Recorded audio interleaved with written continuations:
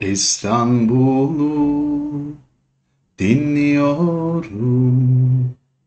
Gözlerim kapalı. Önce hafiften bir rüzgar esiyor. Yavaş yavaş sallanıyor. Yapraklar ağaçlarda yavaş yavaş sallanıyor. Yapraklar ağaçlarda. Evet sevgili arkadaşlar ne bağırdı sabah korktunuz mu? Ne yaptık? Ne yaptık? Ee, şimdi neye geçiyoruz biz biliyor musunuz mu? 27'liklere arkadaşlar tamam KPSS'de çağdaş tamam bir yerde de oradan ücdanı çıkıyor. Burada biz 27'liklere devam edeceğiz tam sürüm. Ondan önce hemen hatırlatmalarımı yapıyorum. Oynatma listelerine gir bir hazine ile karşılaş. O hazinede eğer bir sıkıntım varsa ki vardır arkadaşlar. Ee, konuları bir şey yapın dinleyin dinleyin izleyin. Ayrıntılı bir şekilde yardırdım. Hepsi map kaynaklıdır. Map kitaplarından. Doğru mu? Ve e, ikincisi yok e, konu artık bu saatte ben dinlemem, izlemem falan diyorsan o, özet izle abi. Özetler var orada. Dört tane bak milli mücadele bitirdim bir saatte. Mil, Osmanlı bitirdim. Osmanlı'yı bir saat on dakikada bitirdim. Evet. Ve e, Atatürk döneminin siyasi olayları, iç politika, dış politika hepsini birer saatte bitirdim.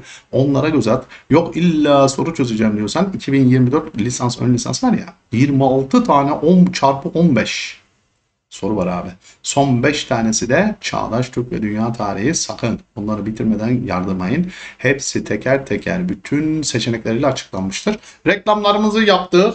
Tamam artık yeter. Şapkalı. Hadi sorulara geç dediğinizi duyar gibiyim. Hemen geçiyorum sevgili arkadaşlar. Yardırmaya başlayalım. Elinizdeki kağıdı kalemi aldınız mı? Benimle beraber çözün arkadaşlar. Şu soru, ilk soru basittir. Herkesin çatır çatır yapması gerekiyor. Bir kere arkadaşlar ilk Türklerde gök tanrı inancı ki çoktu. Bizde animizm var. Doğru mu? Şamanizm var. Biraz büyücülük dini. Maniaizm var. Maşallah hepsine girmişik. Musevi olan Hazarlar var. He? Hristiyan olanlar var. Genelde Avrupa'ya göç edenler Hristiyan oldu. Peki bu özelliklerin hangileri Türkleri İslam'a yaklaştırdı? Sevgili arkadaşlar bir kere İslamiyet'te Tanrı birdir abi. Doğru mu? E gök Tanrı da İslamiyet öncesinde de doğru mu? Gök Tanrı inancında da ilk Türk devletlerinde Tanrı birdir. Eşi ve ortağı yoktur. Doğru. Peki arkadaşlar Tanrı'yı biz ilk Türk devletlerinde şekillendiremez ve görülmez olarak kabul etmiyoruz mu? Doğru mu? Ruhani ilahi. E peki put ve putperestlik diye bir şey var mı abi?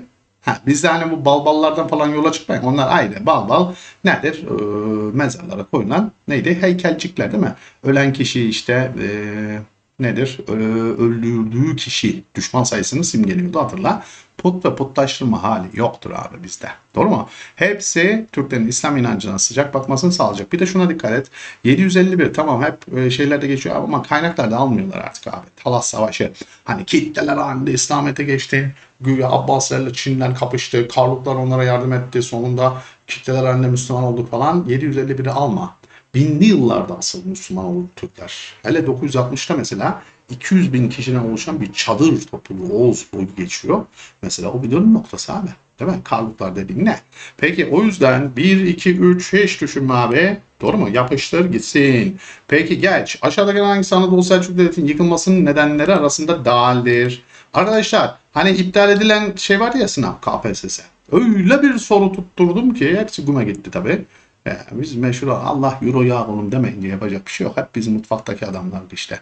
Adam çıktı Büyük Selçuklu Devleti'nin yıkılma nedenleri arasında dedi. Soru tutturdum, soru tutturdum lan. Şunu tuttursan ne olur la? He? Ha ben de tutturdum. Her yerde var böyle sorular. Hı? Bunu, bunu, bunu soru, mimleyici soru, ayrıntı soru. Yani hiçbir yerde olmayan soru tutturmak önemli abi. He?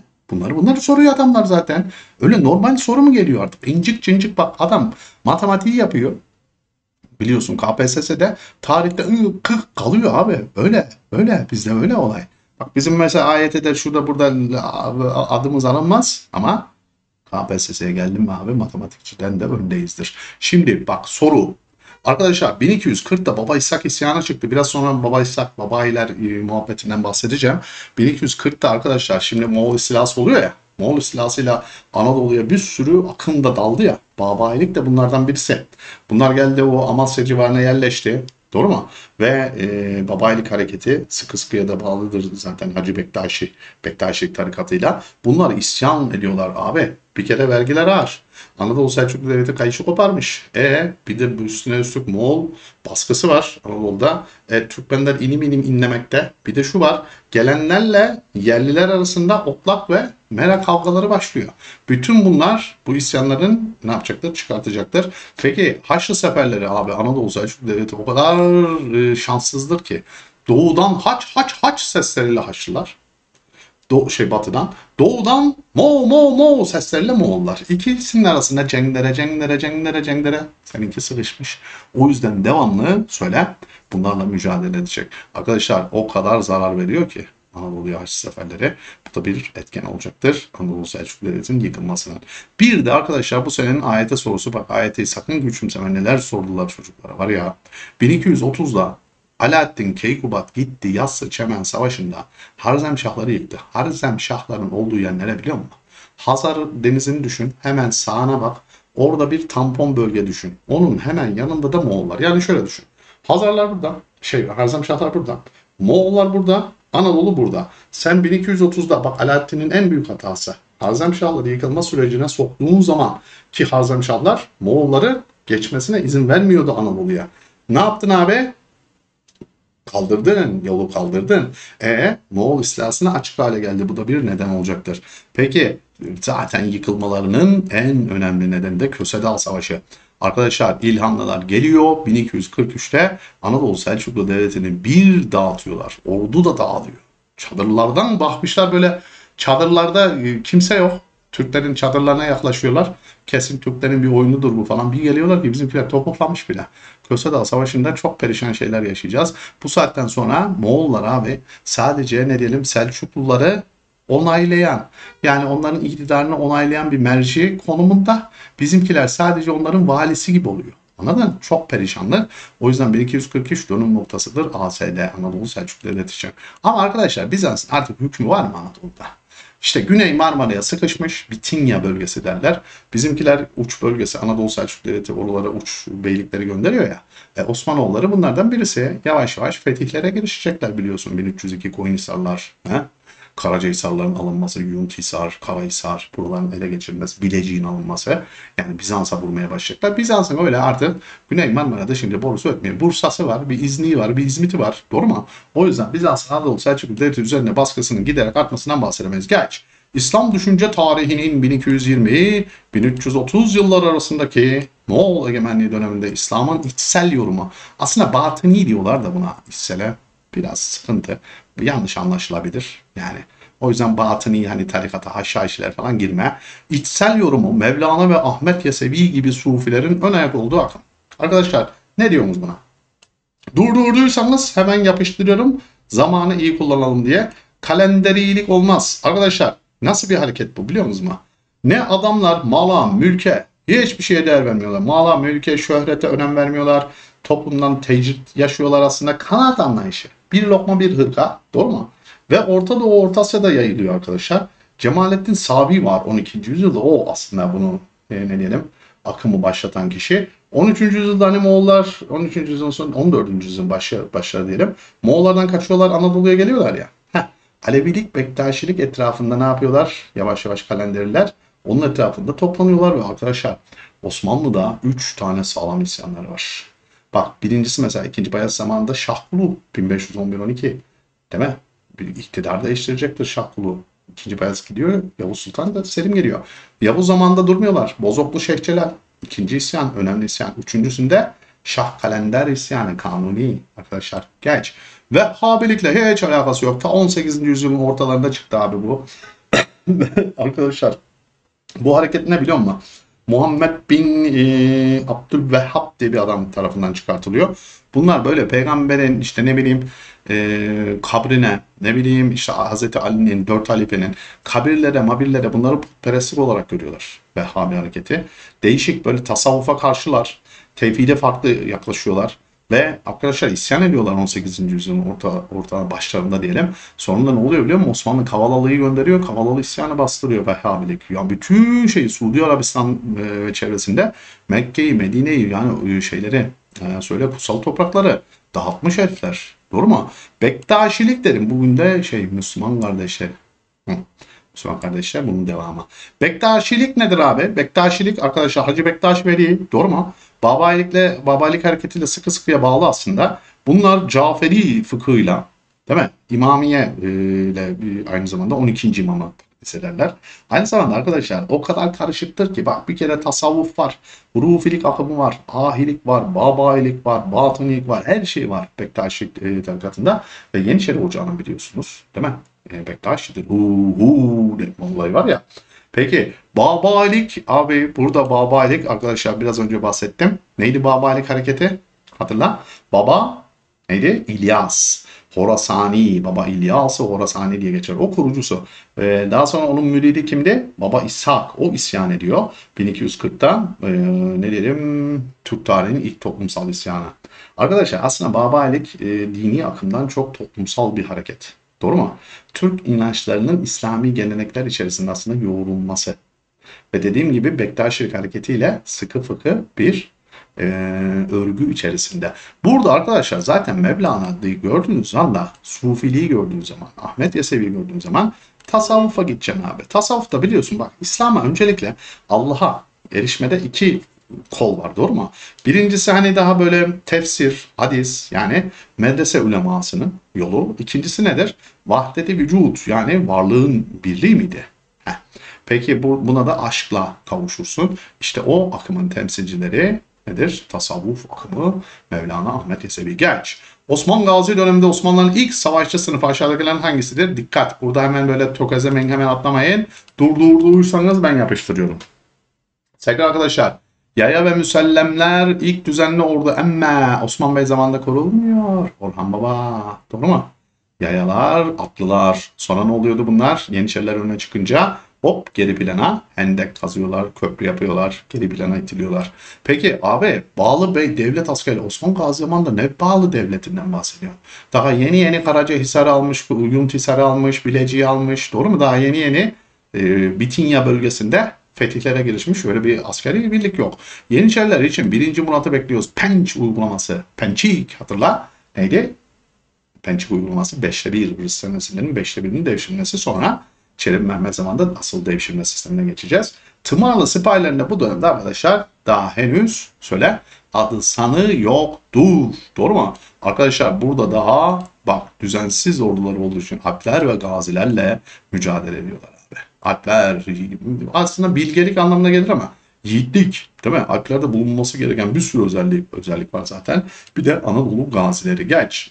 Osmanlı Devleti'nde verasetin belirsizliği taht mücadelelerine neden oluyor ve şehzadelerin arkadaşlar iktidarı için birbirleriyle mücadeleleri var ve bazı padişahların tahta çıkışları sorun olmuş. Peki aşağıdakilerden hangisi buna örnek gösterilemez? Durdurduysanız ve yapıştırın abi.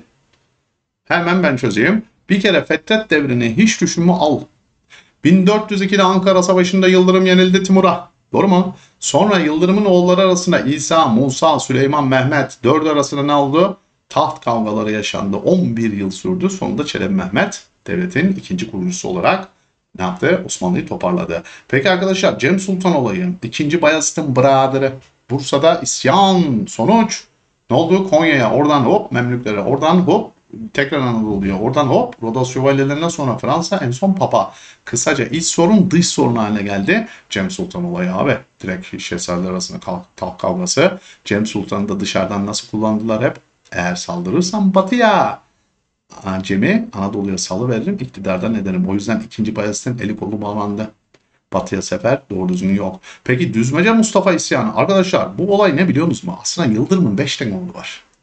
Timur götürüyor Mustafa'yı. Bak İsa, Musa, Süleyman, Mehmet dedim ya. Mustafa da var ama o dönemde Çelebi Mehmet devleti kurdu ya abi. Şimdi Mustafa nerede, nereden çıktı? Haydi bir daha mı şey taht kavgası yaşansın? O yüzden demişler ki Mustafa diye birisi yaktır. Düzmece o. Yıldırım öyle bir oğlu yoktur hadisesi aslında. Düzmece Mustafa arkadaşlar daha sonra ne yapıyor biliyor musunuz mu? Bizans'a sığınması var. Arkasından da hop 2. Murat zamanında bir daha isyan var. Peki o yüzden şehzadeler arasında taht kavgaları direkt derse. Abi 1. Selim'in tahta çıkışı da öyle olay olmadı. Babası 2. Bayezid'i karıştıran savaşına karşıladı ama 2. Bayezid karıştıran da yendi. Değil mi? Yavuz Sultan Selim'i. Sonra Yeniçerilerin desteğini aldı içeriden. Yavuz Sultan Selim başa geçer geçmez de kardeşleri Ahmet de Korkut'u ne yaptı? Öldürdü. Arkadaşlar Kanuni'nin tahta geçişi o kadar güzel oldu ki tereyağından kıl çeker mi gibi mi diyorlar. O kadar temiz geçti ki kimse yok çünkü. Yani rakip kimse yok. Tek başına Kanuni'nin tahta geçişi tertemiz oldu. Geç. Toplum çeşitli sanat kollarını yürüten insanlara muhtaç olduğuna göre evet bu sanat kollarını yürütecek çok sayıda insanın bir yerde toplanması, her birinin belli bir sanatla uğraşması gerekir ki toplumun tüm ihtiyacı karşılanmış olsun sözleriyle ifade edilen teşkilat. Sevgili arkadaşlar hep şunu söyledim hatırla. Eğer soru kaçıracak isen hep neden kaçıracaksın? Kavram bilmediğinden, teşkilatı bilmediğinden. Sevgili arkadaşlar kısa kısa verelim. Durdurduysan Yapıştırdın mı? Doğru yanıtı. İnşallah doğru yapmışındır. Mekkari taifesi olmaz abi. Bu şehirler arası yük taşıyıcıları. Bitti.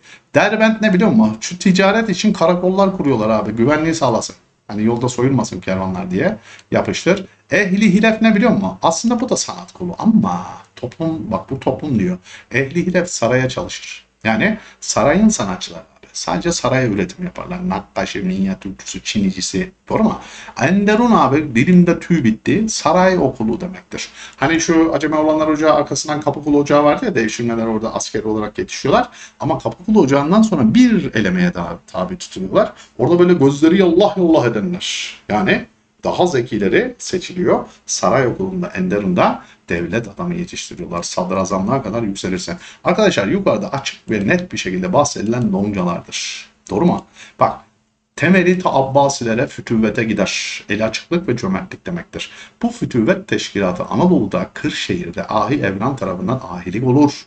Sonra Osmanlı'ya geçer Lonca teşkilatı olur. Bahsedilen de nedir? Budur. Geç.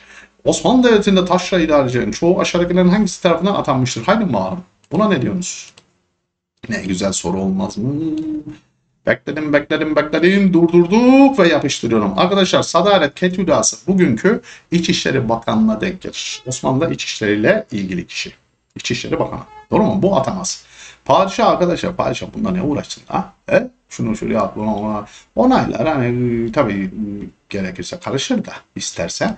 Peki arkadaşlar Beylerbeyi, Beylerbeyi Rumeli Beylerbeyi, Anadolu Beylerbeyi hani Taşra'daki en büyük neydi? Atıyorum İç Anadolu bölgesinin eyaleti olarak düşün. Onun başındaki Beylerbeyi. Peki Çorum, Ankara, Sancak. Onların başındaki Sancak Beyi. Doğru mu? Bunun da pek e, şey yok. Hep merkezden diyoruz bak bu da Taşra'da. Peki Defterdar. Arkadaşlar Maliye Bakanı. Bunun ne işi olsun? Taşra idarecilerinin çoğu siyasi bir şey istiyoruz. Tabii ki sadrazam tarafından atanacak. Bugünkü neye denk geliyordu? Normal parlamenter sistemde olsak mesela günümüzde sadrazam eşittir başbakan. E, padişah da cumhurbaşkanı gibi düşün. Doğru mu? Geç. Anadolu'da ahiliye paralel gelişen bu teşkilatın faaliyetlerinden en önemlisi Anadolu'daki yetim kızların kimsesizlerin, eşini kaybetmiş hasta ve ihtiyar kadınların yardımına koşmaktır. Bu teşkilat, bak kadın teşkilatından bahsediyoruz abi. Sözü geçen kadınların sosyal ve ekonomik eksikliklerini kapatmak için sürekli bir çalışma halinde olmuşlar. Osmanlı arkadaşlar şu alttaki bütün seçeneklerdeki hepsinden yararlandı biliyor musun? Hani başa e, şey e, ne diyelim kuruluş dönemi yani beylikten devlete geçiş aşamasında hepsinden yararlandı. Biz burada kadın örgütünden bahsediyoruz. Dünyanın ilk kadın örgütü Fatma Bacı tarafından kuruldu. Arkadaşlar ne biliyor musun? Ahyanı Rum olmaz Anadolu ahileri. Buradaki Rum'u da dikkat edin. Coğrafi olarak kullanılır. Irki değil. Diyarı Rum diyor mesela. Anadolu'dan bahsediyor. Ahyanı Rum Anadolu ahileri. Abdalan Rum söyle Anadolu abdalları, dervişleri. Peki Gaziyan Rum Anadolu'nun gazileri. Heh, burada bilmeyeceğiniz, bilemeyeceğiniz belki bir grup var. Keşke bu sene sorsalar da yapıştırsanız Azep ya da Azap. Bir de Azem var. O inci taneleri. Hani böyle oturuyordu. Sanki dağlarında sevgi dediğimiz neyse. Heh, o da başlasaydı Eylül'de de vallahi iple çıkmıyor. Üzerinizi beni sardı bilmiyorum. Arkadaşlar Azepler kim biliyor musun? Azepler. Aslında bekarlar. Bekar erkekler. Şimdi yaya ve müsellemlerden sonra kuruluyor. Orhan Baba zamanında. Eyvallah. Gönüllü Türklerden seçiliyor. Eyvallah. Direkt meslekleri askerlik. Eyvallah bak direkt meslekleri askerlik. Ve beyler beyi komuta ediyor bunlar abi. Doğru mu?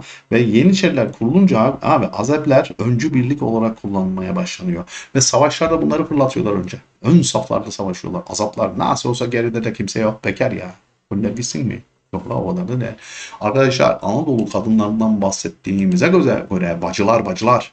Bacım nasılsın? Ne yapıyorsun bacım? Heh. Bacıyanı Rum geç. Peki Osmanlılar ne güzel bir soru.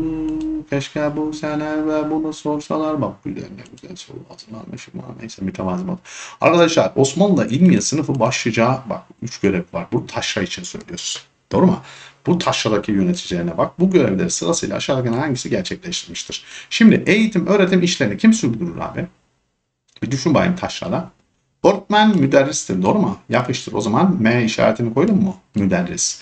Yani eğitim, öğretim işleri Şeyhülislam tarafından da önce kazasker, kadasker sonra Şeyhülislamlar öne geçecek diye 16. yüzyılda hatırla. Peki bak idari ve adli hizmetler. Adliye geldiğinde zaten kadı geliyor aklınıza doğru mu?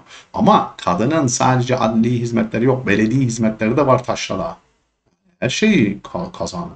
Kasada zaten değil mi? Kopuş her şey onda. Peki burada da abi o zaman Ç harfini yapıştırayım mı kadı diye? Evet. Peki gel sosyal, idari ve askeri konularda dini görüşün açıklanması. Bu da görüş açıklıyor. Bu kim? M desem olmaz. Bir de yanına Ü koysam müftü abi müftü. Doğru mu? Şimdi bak müftü arkadaşlar ilmiye sınıfının taşradaki temsilcilerinden birisi. Doğru mu? Vilayete kazalara falan atanıyor. Bunlar ne yapıyor biliyor musun? Şeyhülislam tayin ediyor. Direkt fetva veriyorlar. O zaman herhangi bir konuda görüş bildiriyor. Fetva dediğin o. O zaman burada doğru yanıt 1. Eğitim öğretim işleri müderris, idari ve adli hizmetler kadı ve müftü. Geç.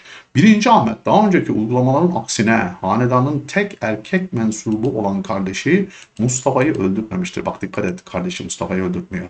Birinci Ahmet oğulları dünyaya geldikten sonra kardeşi Mustafa'yı öldürtmek istemişse de devletin ileri gelenleri ya hacı demişler artık o iş geçti. Bak oğullar oldu ya hemen kardeşini öldürür mü oğullarım geçsin demiş. 1617'de 1. Ahmet vefat ediyor. Devlet erkanı isteğiyle bak bebekleri getirmiyorlar. Kimi getiriyorlar? Kardeşim Mustafa'yı tahta çıkartıyorlar. Arkadaşlar o zaman 1. Ahmet bir ilki gerçekleştirdi. Yönetimde bir ilk hangisi bu? Defalarca sorularda görürsünüz ama bu şekilde hazırlandığını görmemişsinizdir bence. Ne biliyor musunuz? Bir kere kardeş katlini yasakladı dikkat edin. 1. Ahmet'te bitti o iş. Ne, ne olmuş oldu?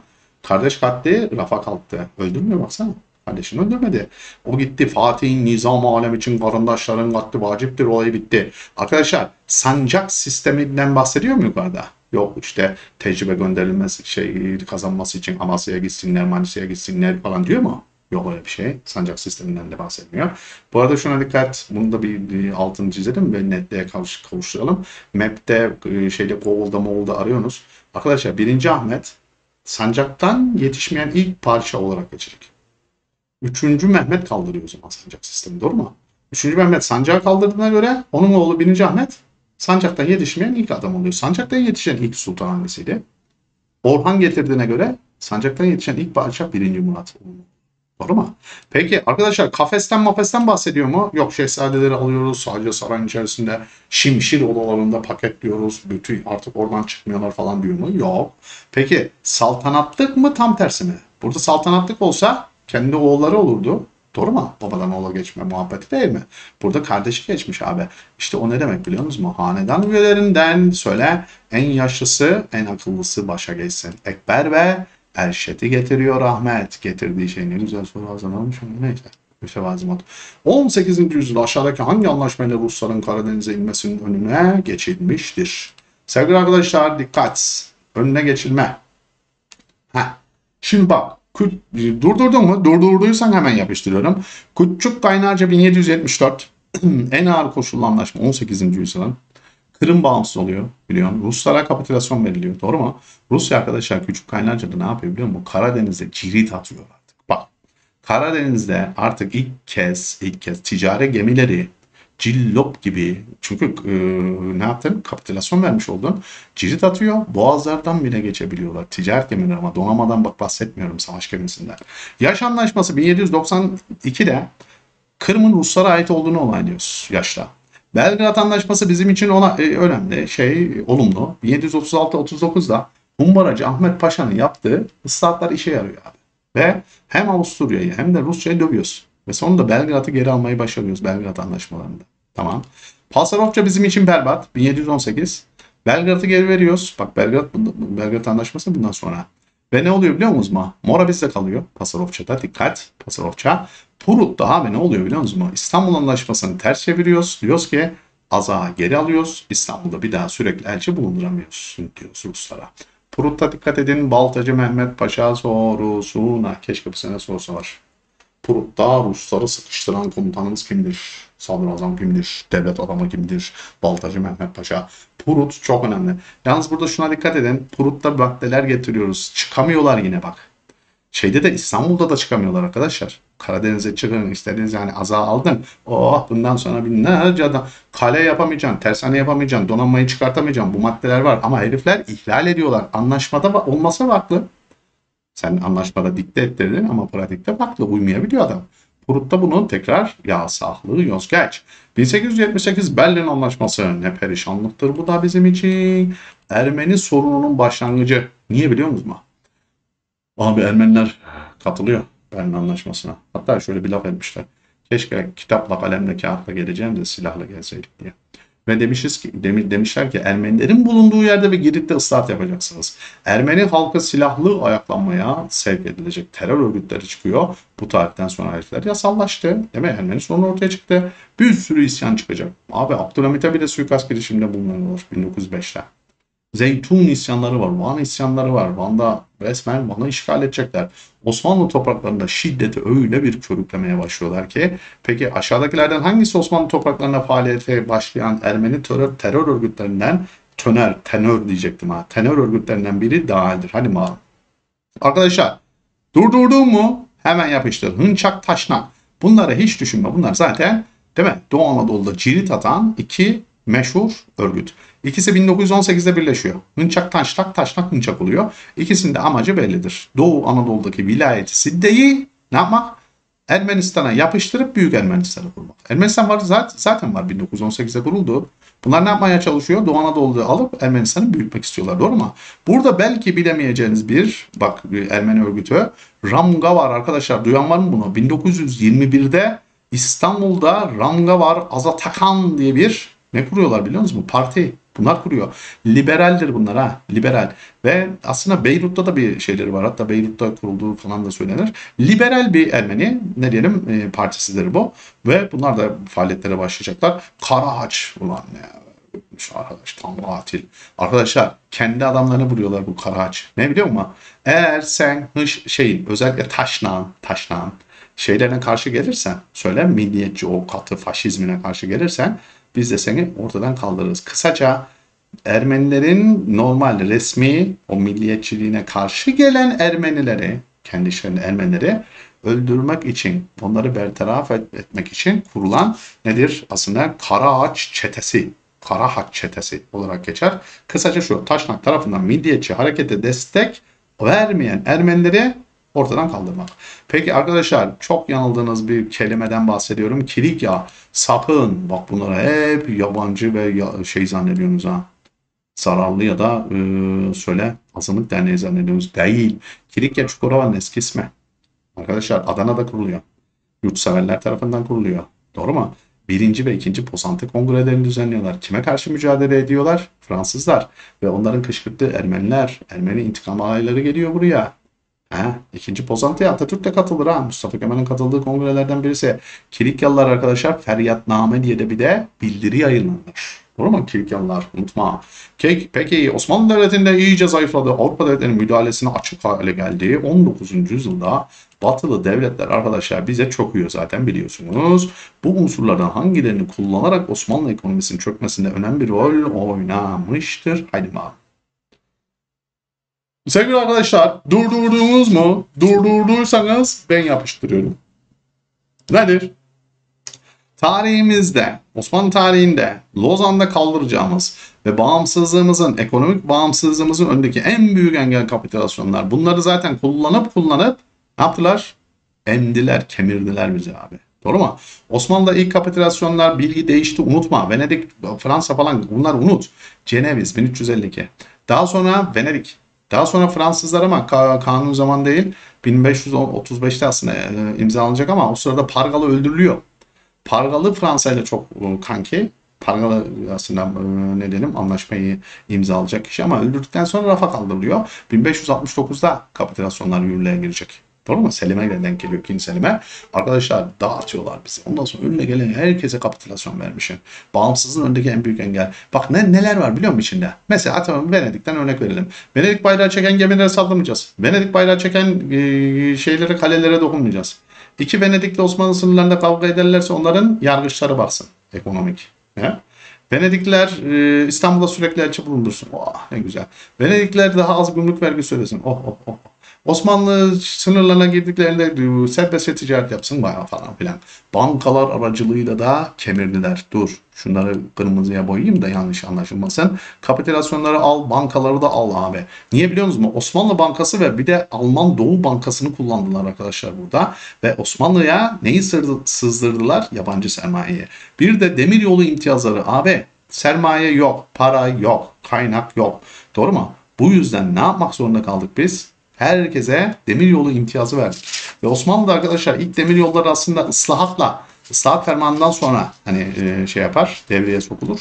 E, burada İngilizler imtiyaz alır ve 1867'de arkadaşlar şu şey var ya Aydın İzmir demiryolu hattı 30 kaç 130 kilometrelik bir hattı tamamlıyorlar. Sonra 610 kilometreye çıkıyor 1914'te ve maliyet yüksek biliyorsun sermaye falan yok. E, o yüzden yabancı şirketlere bunları ne yapıyorsun abi? Veriyorsun maalesef. O yüzden demiryolu imtiyazlarıyla da ağzımızı burnumuzu dağıttı herifler. Geç.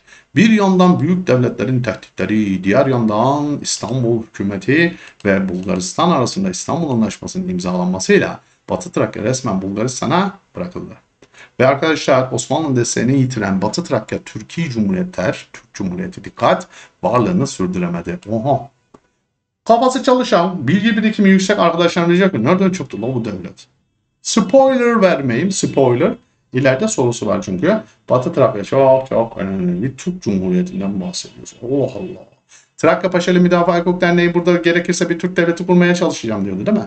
Ve arkadaşlar şu Batı Trakya'nın nerede kaybedildiğini kimse bilmez biliyor musun? Hocalarınıza da sorun. Derler ki Lozan'da mı? Ya neredeydi lan? O eve şuradan mıydı? Acaba orada mıydı? Herkese bir muallaktır. Şimdi bu muallağı ortadan kaldırıyoruz. Hangi anlaşmayla gitti abi? Aslında birinci Balkan Savaşı'nda arkadaşlar pratik olarak kaybedildi eyvallah. Midi Enes attı falan filan. Ondan sonra Tamam. Ama bunun resmiyet kazanması 2. Balkan Savaşı'nın sonunda biz Eylül'dü değil mi? 27 Eylül. Bulgaristan'la İstanbul Anlaşması imzalıyoruz hacı. Ve bunu da burada Batı Trakya'yı veriyoruz. O zaman nedir? 2. Balkan Savaşı'nın sonunda bir sürü anlaşma var ya.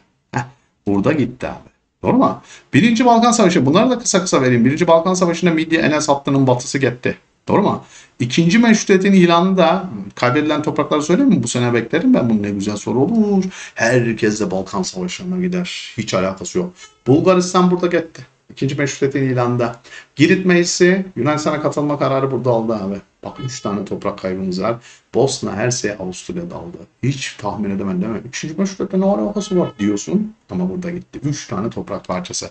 Trablusgarp'ta arkadaşlar kazandık.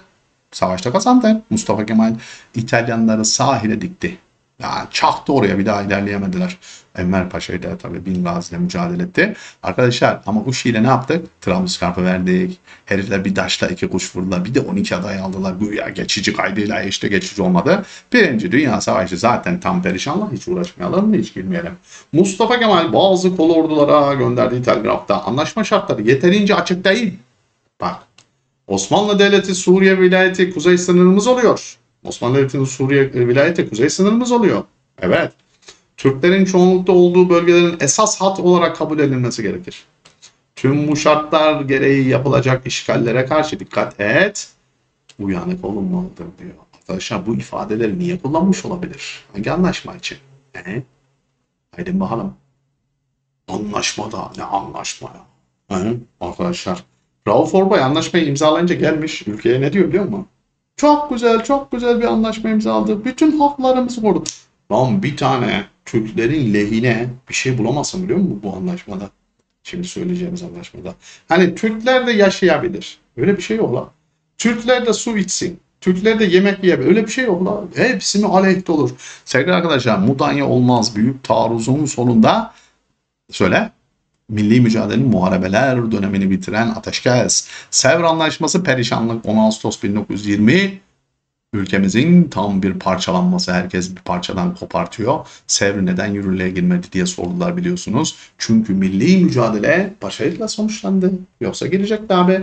Bu şeyi Trablusgarp Savaşı'nın sonunda mı imzalandı? Biraz önce söyledik hem Trablusgarp hem Bingazi'yi aynı zamanda 12 adayı güya geçici olarak İtalyanlara bıraktık. Doğru mu? Bu şey Kuzey Afrika'da toprağımız kalmadı. Gümrü helal olsun Kazım Karabekir'e. 3 Aralık 1920'de arkadaşlar Gümrü Anlaşması imzalıyor ya Kazım Karabekir.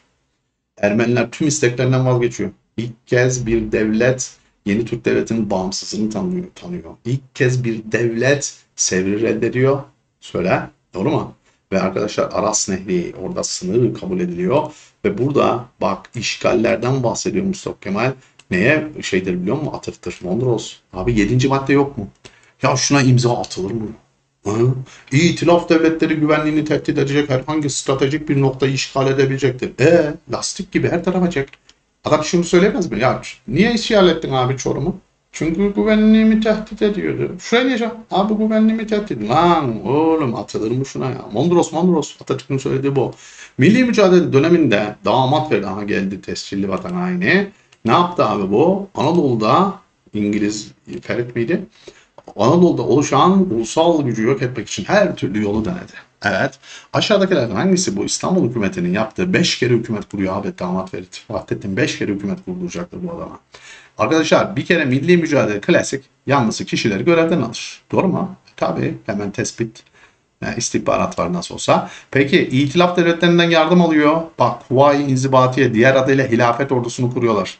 Aslında temel amaç Türkiye Büyük Millet Meclisi'ni boğazlamak, Ankara'ya almak ama İstanbul'la da Ankara arasında tampon bölge yaratmak.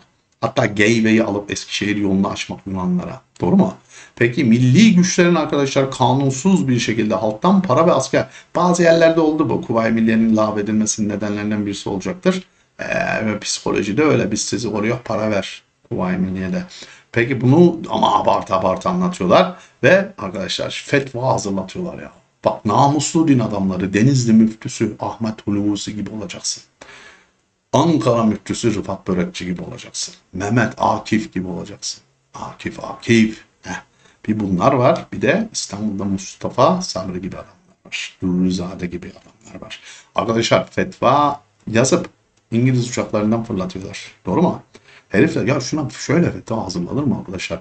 Gelen Yunan ordusu evet halife ordusu gibidir. E haşa halif şey Yunan ordusuna el kaldırmak hilafet ordusuna el kaldırmaktır. Paşa'a el kaldırmaktır. Allah'a el kaldırmaktır. Yuh ya.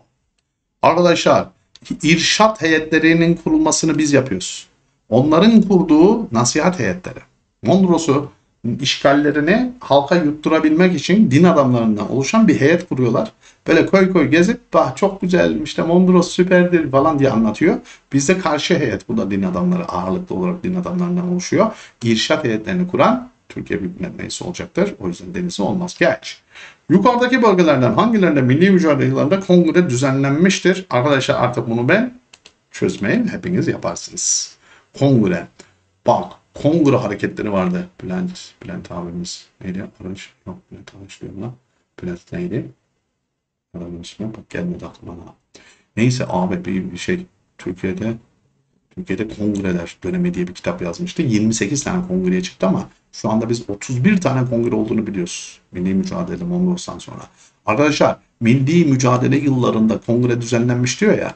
Edirne'de neydi? Edirne'de Trakya Paşaeli Müdafaa Hukuk Derneği, Edirne ve Lüleburgaz kongrelerini düzenlediler. Yapıştır. Gerekirse burada ne yapmaya çalışıyorlardı? Bir devlet kurma hadisesi.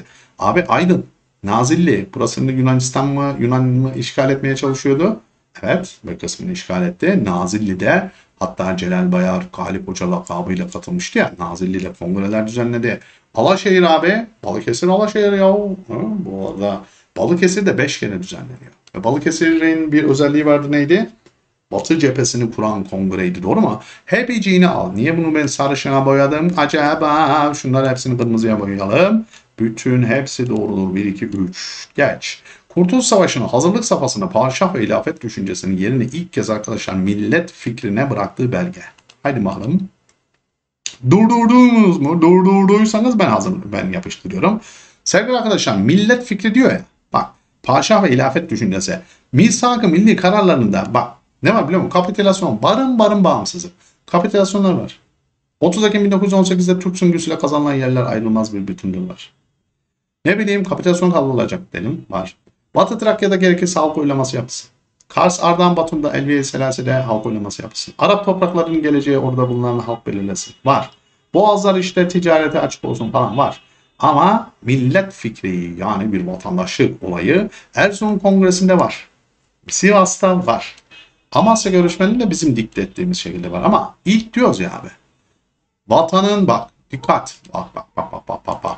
Milletin bağımsızlığını ve geleceğini yine milletin azim ve kararı kurtaracaktır. ÖSYM öyle bir sevmişti ki bu maddeyi, maddeyi bu. Bunu öyle bir sorularda kullandı ki. Bak dikkat edin milletin bağımsızlığını o lafa kadar bu milli bağımsızlık doğru mu? Ve geleceğini yine milletin azmi ve kararı. Kararına dikkat. Yani halk egemenliği kısaca her iki maddeyle de hem milli egemenlik hem de milli bağımsızlıkla ilgili ender maddelerden birisidir. Aynı Erzurum Kongresi'ndekine gibi kuvayi milli etkin, ulusal iradeyi egemen kılmak esastır gibi. E millet fikrinden bahsediyor abi. İlk kez de 20-22 Haziran 1919 Amasya'da. Bunlar da var. Bunlar da var ama daha sonra bunlar. Doğru mu? Amasya görüşmeleri var. Misak-ı Milli kararları daha sonra zaten. Misak-ı milli sınırlar içerisinde olan bölgelerden hangilerinden Türkiye milli mücadelelerinin muharebeler döneminde taviz vermek zorunda kalmıştır? Haydi bakalım. Sevgili arkadaşlar muharebeler döneminde taviz vermek. Bak bunların şu anda Türkiye haritasını bir gözünün önüne getir. Gözünü kapat. 3 yer getir abi. Batı Trakya taviz verdik. Batım'dan taviz verdik. Musul Kerkük'ten taviz verdik. Doğru mu? Evet. Şimdi bana şimdi şunları söyleyin ama burada muharebeler döneminde taviz verdiniz. Durdurdunuz ben yapıştırıyorum. Musul Cumhuriyet döneminde taviz verdik. Şeyh Said isyanı çıktı hatırla. E dönemin hükümeti Ali Fethik'e bastıramadı. İsmet İnönü takdir sükunu aldı meclisten. Hükümete okurdu. Gitti, çöktü. Şeyh Said isyanını sert bir şekilde bastırdı. Ama ondan sonra ne dedik biliyor musun? Artık oynamayın Güneydoğu Anadolu'yla ayrılıkçı olayla. 5 Haziran 26'da Ankara Anlaşması'yla taviz verdik. Demek ki Cumhuriyet döneminde. Batı, Trakya biraz önce anlattım arkadaşlar. 1913'te gitti. Bulgaristan'la yapılan İstanbul Anlaşması'yla. Doğru mu? Peki Batum'u biz 1. İnönü Savaşı sonunda 16 Mart 1921'de Moskova Anlaşması'yla Rusya SSCB'nin hakimiyetindeki Gürcistan'a vermedik mi abi? O yüzden muharebeler dönemindedir. Doğru cevap yalnız 3'tür. Geç. Lozan Barış Konferansı sırasında çok çetin tartışmalara neden olan, biraz önceki aslında soruyu e, şey beni dinleyen çatır çatır yapar bu soruyu. Türkiye bölgede bir halk oylaması yapılmasını isterken muhatabı olan devlet dedi ki la get siz 1913'te kaybettiniz orayı zaten bizden ha çemkiriyorsunuz dediler. Lozan'da. Biz halk oylaması plasifik yapalım bakalım kim kimi istiyor dedik. Onlar da ne dedi? Yok siz orayı 1913'te kaybettiniz. Acaba hangisi? Hangi yer? Sevgili arkadaşlar durdurdunuz ben çözüyorum. Musul'u 5 Haziran 1926 Ankara ile kaybettik. Biraz önce anlattım. Üstüne tekrar gitmenin gereği yok. Hatay'da 1921 Sakarya Meydan Muharebesi'nin sonunda özel bir yönetimin kurulmasına karar vermiştik. Fransa ile yapılan Ankara Anlaşması'nı hatırla. Sonra Atatürk arkadaşlar kafayı taktı Hatay'a. Benim meselem dediği olaydı. Doğru mu? Ölene kadar mücadele etti. 38'de bağımsız devlet kuruldu. 39'da da bize katıldı. Hatay'da. Biliyor değil mi? Hatay'ın alındığını göremedi. Mustafa Kemal. Peki arkadaşlar acaba 1913'e kaybettiğinizde Doğu Trakya'yı kaybettik mi? Edirne, Kırklareli, Lüleburgaz buraları aldık. 2. Balkan Savaşı'nda. Hatta Edirne Fatih kimdi? Enver Paşa. Peki arkadaşlar acaba Batum'u biraz önce söylemedim mi ben size? Batum Moskova Anlaşması'nda verildi. Birinci Dünya Savaşı'nın sonunda 16 Mart 1921'de. Doğru mu? Biz ne diyoruz? Sert e, tartışmalar neden var? Yunanistan diyor abi buna. Siz diyor kaybettiniz 1913'te. Biraz önceki aslında soruyla paralel Neydi? İstanbul Anlaşması Bulgaristan'da yaptığımız. Kaybettiğimiz toprak Batı Trakya. Arkadaşlar bir zulüm yapacaklar. Çağdaş Türk ve dünya tarihinde sorularını çözdüm. Batı Trakya'daki bir asimilasyon politikası çekiyorlar burada. Mallara çöküyorlar, müsaade uyguluyorlar. İsim Bulgaristan'da özellikle isim değiştiriliyor. Gerçi bu Trakya Yunanistan'la ilgili de. Peki burada Türkçe güya Türk öğretmenler ders verecek Türk okullarında verilmiyorlar, Yunanlar veriyor. Asimile politikası isteniyor. Ha, klasik. Geç. Aşar vergisinin kaldırılması şaka. Şimdi arkadaşlar yukarıdaki ka- şeyleri inkılapları eşleştireceğiz. Birini dışarıda bırakacağız. Hadi bakalım. Durdurdunuz mu? Bence hemen yapıştırmışsınızdır. Doğru işaretlemişsinizdir. Sevgili arkadaşlar eğer eşitlik varsa ve bol bol halka yönelik ve hizmetlerden bahsediyorsa, devletin halkına eşit olarak hizmet götürmesinden bahsediyorsa abi ve halkı rahatlatmaktan bahsediyorsa ki aşar vergisi bak böyledir. Nedir? Öşür, diğer adıyla aşar, Arapça onda bir anlamına gelir. Ve Müslüman halktan alınan ürün vergisidir.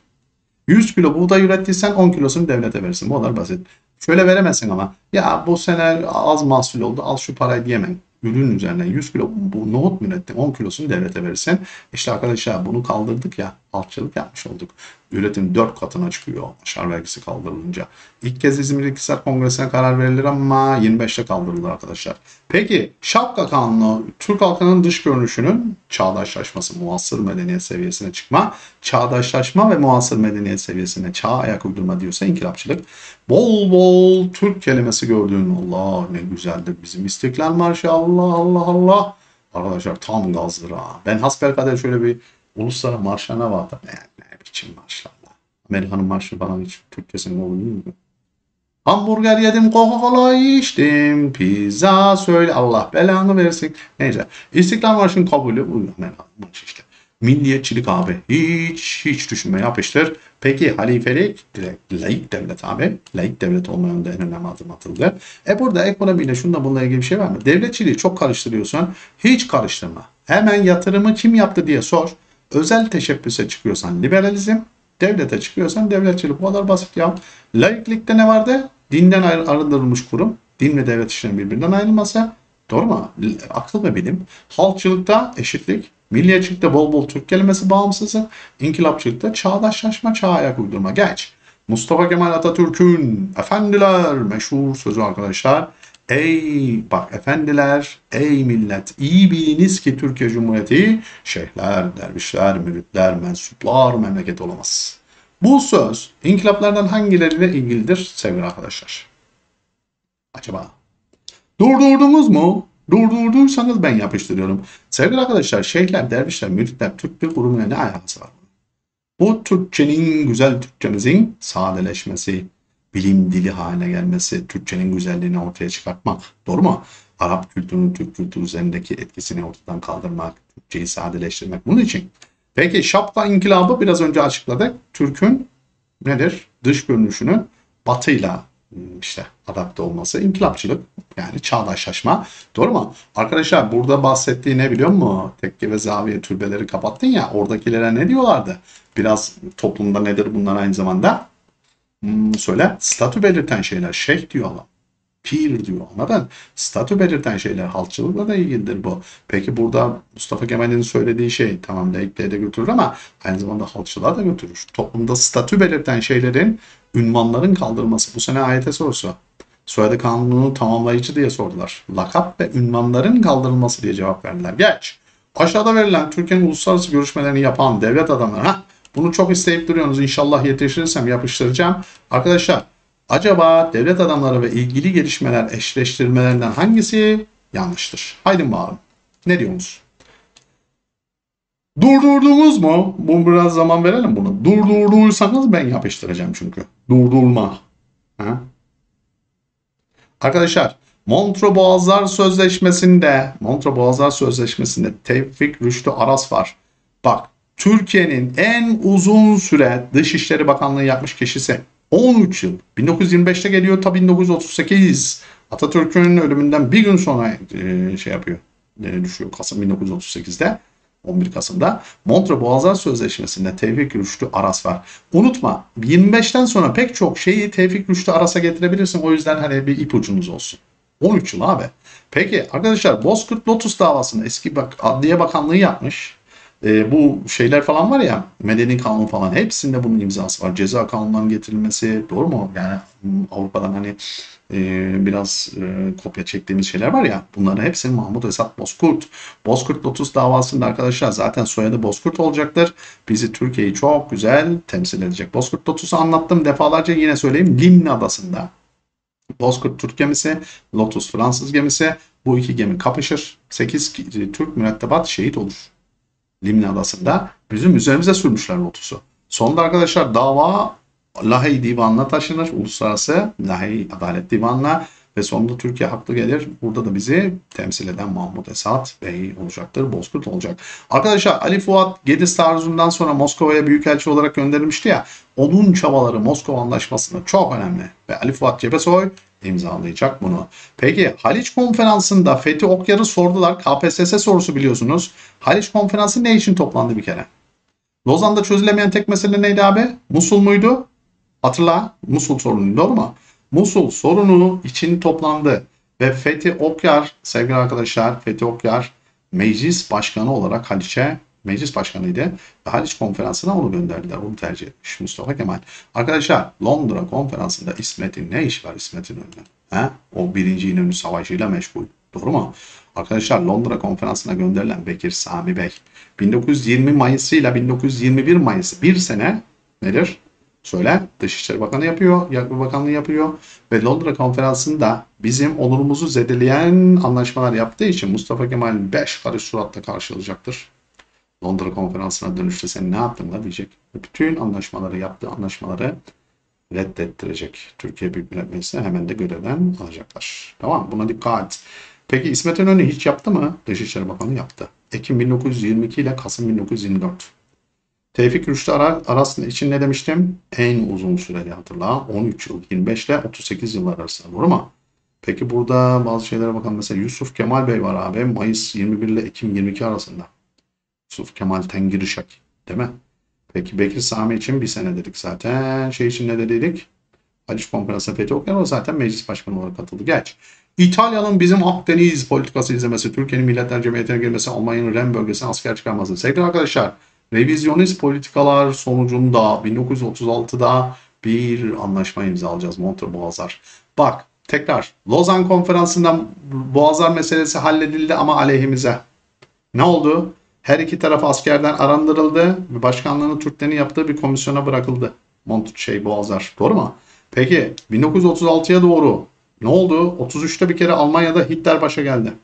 1922 çoktan faşizm İtalya'da başa geldi Mussolini'nin e, önderliğinde. Arkadaşlar adamlar yayılmaya başlıyorlar ve İtalya'da bu faşist Mussolini ne yapıyor biliyor musunuz mu? Bizim deniz ve Roma İmparatorluğunu tekrar canlandıracağım demeye başlıyor. Bu politikayı izlemeye başlıyor. Biz de ne diyeceğiz biliyor musun Montreux'de? Ya bu adam yayılmacı politika izliyor. E İstanbul güvenlik çıktı İstanbul'da biz nasıl burayı savunacağız? E, sağda şey, asker yok, solda asker yok. Boğazlardan bunlar elin kolunu sallayarak geçer dedik. Mantıklı geldi. İngilizler de destekledi burada. Abi 32'de Türkiye Milletler Cemiyeti'ne girdi ya. Montreux'un bizim lehimize dönmemize bir sebep oldu. 32'de burada en azından sağlam bir şekilde değil mi? Görüşlerimizi bildirdik. Bir de arkadaşlar gitti Almanya Ren bölgesine ki silahtan arındırılmıştı. Yasaktı buraya asker çıkarmak. Gitti abi inadına asker çıkardı. Hepsi şunu gösterdi. Bu heriflerin şakası yok. İkinci Dünya Savaşı'nın ayak sesleri geliyor ve Boğazların güvenliği tehdit altında. Biz de bundan Atatürk'ün dehasıdır. Biz de bundan yararlanmalıyız. Boğazların Boğazların Lozan'daki o bağımsızlığımıza aykırı olayını bir şekilde çözdük Montreux'de. Her türlü kullanım hakkı bize verildi Montreux'de ve Lozan'daki o bağımsızlığa aykırı bütün şeyler ortadan kaldırıldı Boğazlarla ilgili. Geç. İkinci Dünya Savaşı'ndan sonra iki kutuplu bir dünya mı geliyor abi? Soğuk Savaş biliyorsun. Bir tarafta ABD'nin kapitalistleri, bir tarafta SSCB'nin komünistleri. Doğru mu? Hangi politikayı izliyoruz biz İkinci Dünya Savaşı'ndan sonra? Ruslar ne diyor biliyor musun? Şımardılar. Büyük bir güç olarak çıktılar. Az da aslında haksız da değiller. 25 milyon insanlık kaybetmişler SSCB. İkinci Dünya Savaşı. Perişan olmuş. Doğru mu? Ama da güçlü de çıktı. Yani dünya gücü olarak çıktı. Çünkü bütün Doğu Avrupa'yı işgal etti. Polonya'yı da aldı. Berlin'e önce bunlar girdi. Abi biz üst istemeye başladılar bizden.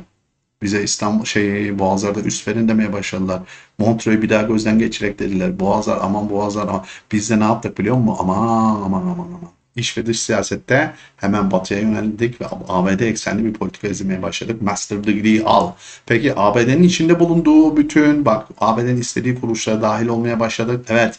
Belki NATO'ya gireceğiz abi. Kore'ye o yüzden asker göndeririz. 1951'de NATO'ya alacaklar bizi. Peki ABD karşıtı olan kuruluşlardan, devletlerden uzak durduk. Ha? 47'de 48'de bu Marshall'lar, Truman'lar, değil mi? Doktrinler yardım edilecek. Peki İsrail'i resmen tanıdık. İlk tanıyan devlet Müslüman devletiz biliyor musunuz? 1948'de kurulduğunda ee demişik. Ve iyi ilişkiler kurmaya başladık. Peki hızla dışa kapalı bir sürece mi girdik? Tam tersi açık bir sürece mi girdik? Demokrat Parti'nin gelmesi, liberal ekonomik politikalar, he? paktların imzalanması bu bağda, NATO'ya girişler, he? Birleşmiş Milletler 1945'te kısaca tam tersi dışa kapalı değil dünyaya açılan bir sürece girdik. Geç. 1955'te yapılan Bandung konferansı var biliyorsunuz arkadaşlar. Bunun da sorusunu sordular. Üçüncü dünya devletleri olarak isimlendirilen yaz. Asya, biz de bunlardan birisi bilik. Afrika, Latin Amerika, devletlerinden hangileri bağlantısız bloğunu oluşturup dünya siyaset dengesindeki gerilimin etkisini azaltacak bir süreci başlatmışlardır. Üçüncü dünya devlet, devletleri ise bunlar. Neydi biliyor musun? İkinci Dünya Savaşı'ndan sonra ABD odaklı kapitalistler, SSCB odaklı komünistler. Bu herifler de çıktı. Ya gel lan dedi eski sömürgeler bunlar. Hep ezilmişler. Dedi ki ikiniz de e, bana yaramazsınız. Biz ayrı bir grup kuracağız. Bağlantısızlar dediğiniz bu yüze yakın ülke katılıyor. Bak Hindistan'da Nehru, Yugoslavya'da Tito, e, şeyde Mısır'da El e, Nasır. Bunların hepsi üçü liderlik yapacaktır buna. Hep ezilmişler. Dikkat edin. Asya'daki ülkeler, söyle Afrika'daki, Latin Amerika'daki bunların hepsi katılacak abi. O yüzden arkadaşlar bağlantısızlar grubunu bunlar oluşturacak. Doğru mu? Geç. Kurulu 1948'den bu tarafa 1978'de İsrail'in siyasi varlığını tanıyan ilk Arap devleti. 79'da diyebilirsiniz buna Mart'ta tam resmileşecek. Arkadaşlar 48'de kuruldu mu İsrail? Evet. Araplar çöktü mü bu ya? Savaş açtı mı İsrail? Evet. Dayağı yediler mi? Evet. 67'de bir daha dayak yediler. Evet. 73'te bir daha dayak yediler. Yom Kippur Savaşı. Devamlı İsrail böldü Arapları. Ve 78-79 sürecinde Mekik diplomasisi çalıştı. ABD araya girdi. Barışınla diye kimle bir kim arasında biliyor musun? Mısır'la İsrail arasında. Sonra ne oldu biliyor musun? Camp David anlaşması imzalandı. Mısır İsrail'i tanıdı. İsrail yer işgal ettiğim yerlerden çekiliyorum dedi. Ne güzel. Geçti. Ondan sonra devamlı işgal edecek. Süveyş'teki yalnız benim çıkarlarımı koruyun dedi. Koruttu. Sonra birbirimizin iç işlerine karışmayalım tamam. Bağımsızlığımıza saygı gösterelim olur. Egemenlik haklarımızı tanıyalım ne kadar güzel. Arkadaşlar ilk kez Mısır. Mısır'daki bu olay var ya sen anam. Bütün Arap ülkelerini buna düşman etti ya la Mısır'a. Herkes arkadaşlar birleşip buna ambargoyu dayadılar. Suriye, Ürdün, Suudi Arabistan ne yapıyorsun lan sen nasıl İsrail'e tanırsın deyip. Mısır çok çekmiştir bu konuda. Enver Sedat var. Enver Sedat'ı öldürüyorlar suikast sonucunda. O imzalıyor çünkü Camp David'i. Sevgili arkadaşlar neyse sorular geldikçe bunun üzerinden. Bakın işte sorular üzerinden konu anlatımı yapıyoruz. Böyle daha iyi oturur. Zaten böyle gelecek abi. 3 tane sorunuz var. Son arkadaşlar ıı, ricalarımı söyleyeyim. Fakir hocanıza destek. Bol bol ıı, arkadaşlarınıza söyle ne şapkalı bir adam gözük bir adam var. Sen gözlükleri çıkartabilir de neyse bulanık koydum ben şimdi. Ee, haber verin de kanalımıza abone olsunlar şöyle. Zaten 15-20 gün içerisinde 2000 kişi olduk ha. Biz uçarız ha. Bir ay sonra var ya oo, uçarız. Ve günlük 300 saat falan abi ben hiç beklemiyordum. Gurur duydum, onur duydum. Eyvallah sağ olun. Arkadaşlar büyütelim kanalımızı. O zaman abone ol. Bildirim zillerini aç. Videoları az beğeniyorsunuz. Videoları da bir şöyle bedava nasıl olsa yapıştır gitsin abi beğeniyi. Kendinize iyi bakın arkadaşlar. Başarılar diliyorum. Çalışmalarınızda görüşürüz. Bir sonraki videoda.